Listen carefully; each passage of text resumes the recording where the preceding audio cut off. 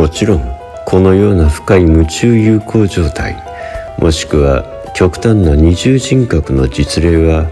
普通人によく現れる軽度の二重人格的無有すなわち寝言とか寝とぼけとかいう程度のものとは違いまして極めて稀有のものではありますがそれでも昔からの記録文献には明瞭に残っている事実が発見されます。例えば50年目に故郷を思い出した老人とか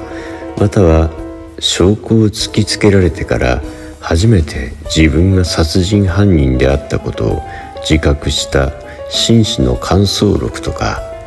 産んだ覚えのない実施にあった孤独の老情の告白列車の衝突で気絶したと思っている間に特等の大富豪になっていた貧青年の手記。たった一晩一緒に眠ったはずの若い婦人が